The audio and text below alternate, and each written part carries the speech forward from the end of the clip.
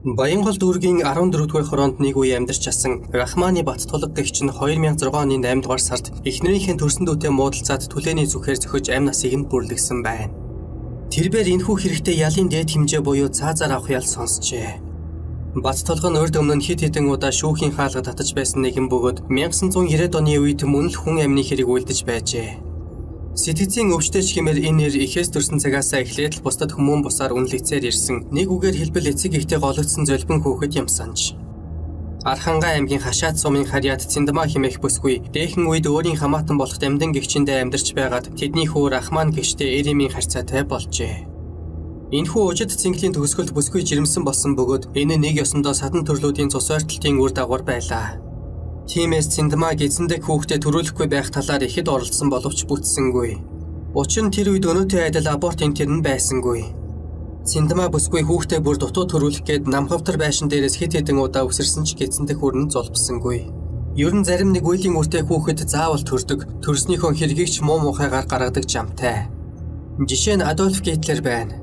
Түүнийг баг байхад хорт могой хатгсан боловч Гитлер өхөлгүй харин түүнийг хатгсан могой өөрийнхөө хоронд хордоод өвчихсэн гэдэг билээ. Рахманы бат тулгч яг л ингэж өгөж өгөхгүй байсаар хүн болжээ.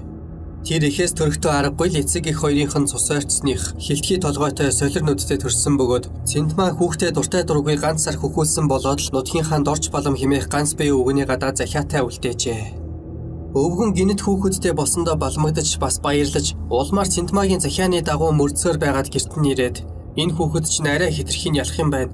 Чи ядаж 3 сар хөхөөлээд ахтаа өчөх Би хэдэн ямааныхаа сүгээр уужаад наад хүүхдийн чинь хүн болгож дөнгөн химээжээ. Ингээд хүүийн гүйцэд цөглөж амжаагүй гологдмол хүүд дорж болон өвгөн баттулга гэдэг нэр хайрлсан байна. Ингэхдээ дорж болон өвгөн хүүхдэд хайртай та биш гар хурууны үзүүрт зарцдах гэж л үрчиж авсан байгаа юм. Тэгээд баттулга хүүг хоёр нас хүрэх үеэс нэглээд өвгөн уйлах болгонд нь алгадж айлгадаг болжээ. Ингэсний хүчинд мань хүү өлсч цангаж даарч байсан ч тэр болгон уйлаад байдаггүй гүргэр нэгэн болжээ. Тэрбээр өдөр ирэх тусам өсч томорсоор 10 нас хүрсэн ч дорж болон өвгөн түүний сургуульд явуулсангүй. Яагаад гэдг нь бас учиртай. Мань өвгөн баттолгод хандаж чиний наад хилдэхэд толгойд чинь эрдэм тогтохгүй.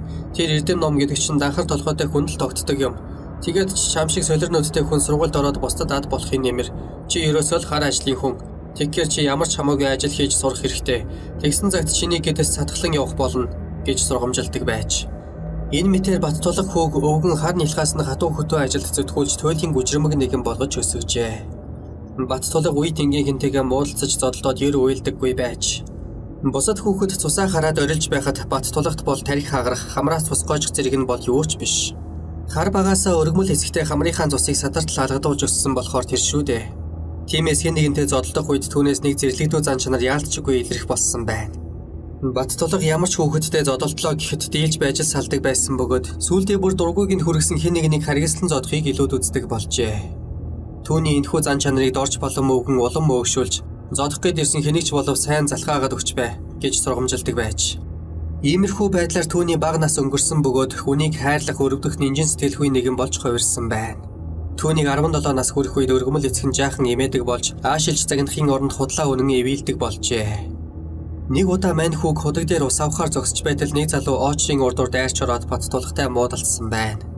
Тэгмээс баттулга хажуудаа хөвтөж байсан том чулууг шүүрч аваад мөнөөх залуугийн тарих руу зөхиж унгаад дээрээс нь дэвсэлж гарчээ. Сүүлдээ бүр улаарч ам хамаараас нь цагаан хөөс сахраад мөнөөх том чулуугаараа газар хөвтөө залуугийн тарих толгоороо балбсаар байгаад нөгөө ертөнцөд илгээсэн байна. Гигэн цагаан өдөр 2 3 хүний нүдэн дээр болсон энэхүү харигас саллахын талаар тэр хавийнхан нэг хэсэгтээ шуугсан гэдэг. Улаан цагаанда гарсан алуурчин яг дэрэгдэн хүн алж байхад зүгээр л хараад зогсож байсан хэмээн зарим хүнийг энхүү аллахад бас буруутгасан байх жишээтэй. Гэлээч хэргийн эзэн хэнгэргийн дөхөөрн зөвхөн баттулга болохоор энэ хэрэгт цагдаагийнх нь түүнээс өөр хүнийг баривчиж хорьсонгүй. Баттулга ганц худагт очиод өөрийг нь дээрлэх гэсэн хүмүүстэй ан маань үзэлцэж нэг овгор хулгайчийг золтойл цааш нь харуулчихсангүй. Төдөлгүй нэг өмгөөл өчтөөнийг өмгөөлөхөр болж улсын мөрдөн байцаах газарт нүүр тулан уулзжээ. Өмгөөлөгч түүний сэтгцийн ямар нэгэн өөрчлөлттэй гэж үзээд эмчнэрт хандсан ч бат тулга эв ирүүл гарчээ. Харин маш цочмог ууртай, ууралсан үедээ бие барих чадвараа алдчихдаг гэсэн онош гарсан байна. Өмгөөлөгч түүнээс чи талигаа чи чулуугаар ганц зөхиод орчихж болоогүй юм уу? Яагаад дахиад чулуу шүрч авсан юм бэ? Оочор дайрч орогч нь байдаг л нэг явдал шүү дээ. Гэхэд бат тулга. Хм, Тэгээд Тэрмо залууг урдуураа оруулчихад би ард нь тэрийг царайлаад зогсож байх хэрэггүй. Чулуугаар ганц зөхиод болчих гэсэн чинь арай л дутуу санагдаад байсан юм. Би энэ хэрэгээс яавал хөнгөн салах вэ? Та нэг арга бодооч гэсэн гэдэг. Ингээд 10 сарын дараа шүүх хурал болоход маньхүү өмгөөлөгчтэйгөө зөвлөлдсөний дагуу учиргүй ихээр уйлж унжаад би хүний аим хөнөөсөндөө гимшиж байна надад хөнгөн ял өгөөч гэж бахирчээ. Өмгөөлөгч залууч түүний дэмжиж энэ хүү хаад нялхаасаа өнчин өрөөсөн өссөн өргөмөл эцгийнхээ хатуу гардоор ямар ч эрдэм номгүй харанхуй зэрлэг хүн болж өсснөөр гинэт уурлан зочирддаг. Зочирдсныхоо дараа юу хийж байгаагаа мэдэрдэггүй аргагүй хамгаалалт хэтрүүлсэн гих зэрэгээр шүүх цагдаагийн практик төлөг болсон үгийг урсгаж гарчээ. Ингиж өмгөөсний хүчинд баттолог 12 жилийн ял сонссон байна. Төдөлгүй тэр зоон руу ачигдах үедээ өмгөөлөгчтэй хандаж давж залдаад тэмээ байх 12 жилийн ял гэдэг миний хийсэн хэрэгт тохирсон шийтгэл байна. Ингээд нүд ирэмсэн аж.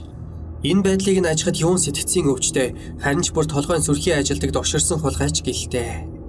Ингээд баттолог насанд хүрээгүйчүүдийн хориход нэг жил болоод зүүн хараагийн чанга руу шилжсэн байна. Түүний уурлан хэлгэнэх үедээ хэнийг ч алж мэдэх зан чанараас хориглоод битүүхэн айдаг байж Тимээс баттулгыг хинч оролддоггүй байсан бөгөөд мань залуу нааран дээрээ муухай харж суугаад хинтэж дуугардаггүй байж. Түүний сэтгэл зүрхэнд ямархан ертөнц нуугдж байсныг таахад бэрх. Өмгөөлөгч нь нэг удаа зүүн хараагийн хорих ангид хүнтэй уулзаж явхдаа баттулгатай санаандгүй тааралцсан юм санаж. Тэр Орос хром хилэн цамцаар гангарсан байсан ба өндөр нуруулагч хөрмөслөг нэгэн болж хувирсан байж.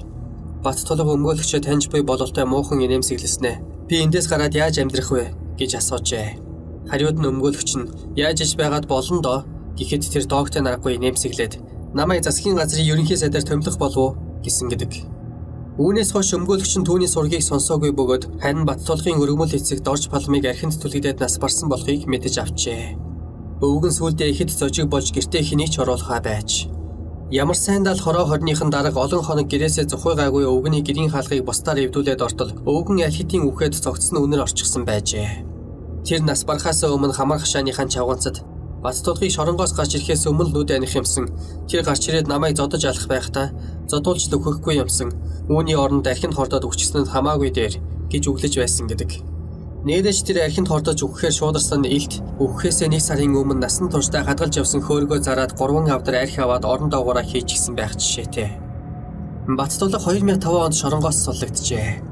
Харин мань залуу он удаан жил шорон суугаад нилээд сургамж аввуу гэлтэй дорч балан өвгөний хашаа байшинг тордож улмаар оюун дээр химэх бүсгүй гэргээ болгон авчээ. Тэр нэг удаа өөрийн гэсэн үр хөөхдгүй хүн насны эцэст ганцаардаж өгдөг юм гэсэн миний өргөмөл эцэг ганцаардсны улмаас архинд ороод түлэгдэж өгсөн юм шүү дээ. Ингээд инээмсэглэж суусан байгаа юм. Энэ ч уг нь инээж ярих асуудал биш шүү дээ. Тэгэхээр түнд төрөлхийн гэмээр сэтгцийн өөрчлөлт байсан л байгаа юм. Бат тулгыг суллагдаад ирүүд хороо хорныхын дарга чамд хийх газар шорооны ажил байна. Чи хийх үү? Гэхэд манер та битгий хүнд оромжлоод байгаарай. Наад газар шорооны ажлыг чинь би шоронд 10 гаруй жил хийж байгаад гарч ирлээ. Одоо боли. Би өөр юм хийж амьдрмаар байна гэж хийж өргөчээ. Нэрэж төдөлгүй өөр ажил хийгээд байгаа нь ойр тойрныхонд нь анзаарэгдсэн байна. Манер хачин ганган хувцаслаж мотоцикл хүртэл авч унсан зарим хүнд тун сэжигтэй санагджээ. Түүний цагдаагийнхан хулгайн хэрэгт сэжиглээд хэд хоног мөрдөн суулгасан ч сэжигтэй юм олсонгүй. Харин Инхбаатар гихч залуу хулгайн хэрэгт байцаагдахдаа Баттулга гэдэг овгор хулгайч намайг айлхан сүрдүүлж хулгай хэлгсэн. Миний хулгайсан ямиг тэр зарж борлуулад надад олигтой мөнгө өгдөггүй байсан. Гуанзанд ор гээд өдөрт мянган төгрөгл өгдөг байсан. Гих зэрэгээр гомдолжээ. Гэвч энэ хэрэг нэг их өндөр авалгүй нам дарагдсан бөгөөд хамгийн гол нь Баттулга Инхбаатар нарын хохирогч гэсэн хүн гарч ирсэнгүй. Гэвч муу юм одон улаатай гихчээр боцтолго дахиад ямар нэгэн байдлаар шоронгийн хаалга татах нэгуртай байсан бололтой. Тэрээр 2006 оны 8 дугаар сард эхнэрийнхээ дүүтэй архитаж суухдаа өчүүхэн зүйлээс болж маргалджээ. Баяр тогтох хэмээх залуу хадам ах боцтологдоо хандаж та одоо ажилд орох хэрэгтэй. Ингиж ажил төрөлхөө архитаж байгаад дахиад шоронд орчих вдоо. Одоо та шоронд орох юм бол залуу хүүхдүүдэд алуулна шүү. Ингээд санаандгүй хэлээд тавьчихж. Дигтэл мөнөх цочмог ууртай баттулга дүрлсэн босч ирээд Би яхаараа залуу хүүхдүүдэд алуулна гэж ёстой хуцва би муусан хулгайшуудыг ааж ирсэн болохоос биш алуулж яваагүй юм шүү. Ингээд эхнэрийнхээ дүү зөхөж унхан гэрээсээ чирч гаргаад ойролцоо байсан түлээний зүхээр тархин дундуур нь буулгаж ирчээ. Түүний ганц худагт хоригдож байх үед өөрийг нь өмгөөлж хамгаалах өмгөөлөгч хүртэл олдсонгүй. Тэглээ чин мэтийн өмгөөлөгчийн буянгүй цагаантаа гарсан алуучдад төр засаг албан ёсоор өмгөөлөгч гаргаж өгдөг билээ. Энэ удаад түүнд хуулийн сургууль төгсөөд удаагүй байсан инх туяа хэмээх залуухан өмгөөлөгч төхиосон байна. Мань хоёр шүүх хурлыг юу гэж мэдүүлбэл дээд хэмжээ авалгүй болторч үлдэх вэ гэдэг дээр тун нухацтай ярилцжээ. Тэглэж шүүгчнэр өмгөөлөгч Интуягийн сэтгцийн өвчин гинтийн зочрол аргагүй хамгаалалт гих мэтийн үлэг болсон өмгөөллийг нэг их тоож авч хэлэлцсэнгүй. Өчүүхэн жижиг шалтгаанаар хоёр ч хүний хэрцгийгээр цааш нь харуулсан Баттулгын өөрийгөө өмгөөлж хамгаалсан мэдүүлэгт ач холбогдол өгсөнгүй. Ердөөл шууд дээд хэмжээ.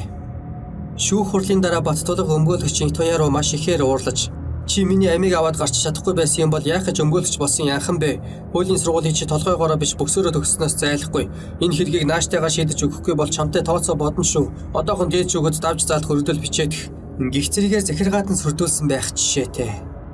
Инх туяа нэгэн л түүнийг өмгөөлөхөөр дээрээс томилогдсон болохоор хэлсэн ёсоор нь давж заалджээ.